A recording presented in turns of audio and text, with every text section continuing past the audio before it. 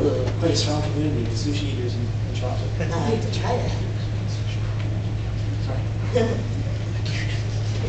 I understand Phil now, like, what's wrong with this? I just wondered if uh, Daisy's bags, you know how she put all the pictures, or no, it wasn't Daisy, it was the girl before Daisy, put all the, when she brought you and she brought all the Right. things in bags.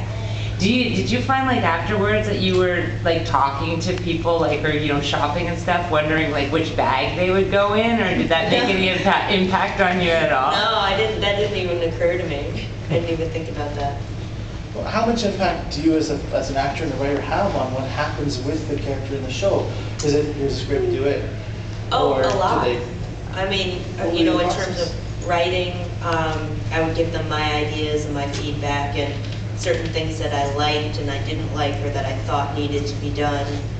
Um, and, you know, if they wouldn't change them, then I'd just do them and try, you know, and then if they liked it, they could use it. I would, usually, if there was something I thought should be done, I would do it my way and do it their way, and then they could choose, you know. How often do they choose their way? Not that often, believe it or not, they really did go for usually what, what I thought was right. And I guess because when you're looking at it through an actor's eyes, if you take their judgment, it'll go better with the character. If they have good judgment. Well, yeah, you, you sort of get a feel for your own character, though. You're, you're sort of, well, you're in the skin. Right, right. Yeah. Was there anything from the show that you get to take home? Aside from Oh, clothes, yeah. like, uh, Oh, I took a lot of clothes, I took some props home, I took. The what? The squeegee. No, that I didn't take. I'm trying to think what else. No, no toilet seat. Not the- No. No, didn't want the frog. He can stay. Well, speaking of people, gravelings, I'm thinking about the graveling that came out of the dead guy, and then George's character touched it, and then it went away, and what were gravelings? Wait, um, uh, what were they? Or what, what was your take as an actor who had to deal with the gravelings aside from the special effects? What were they to you? They were, um, the creatures which came to make the accidents happen. And they were basically my guide to where I needed to be in order to take the soul of the person.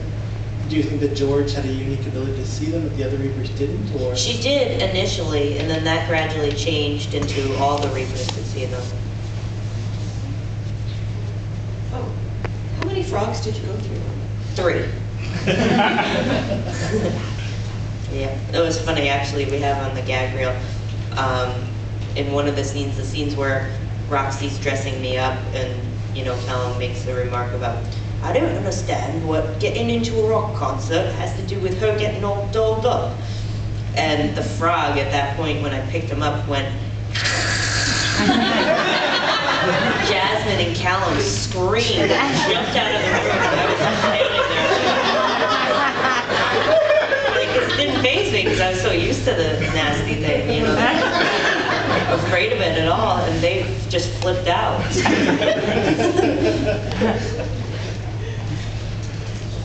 you have uh, affinity for wildlife and stuff growing up? Did you Oh yeah, I've always loved it.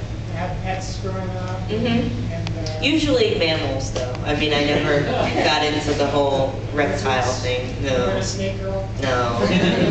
Britney Spears. uh,